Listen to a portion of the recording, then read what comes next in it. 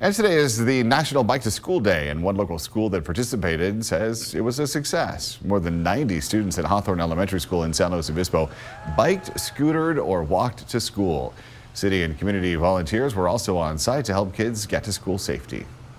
With encouragement, support, and community help, all of our kids can get to school safely via bike, scooter, hoverboard, skateboard, bike, walk and, and do so safely and have fun doing it. There will be another Bike to School Day toward the end of the school year in May.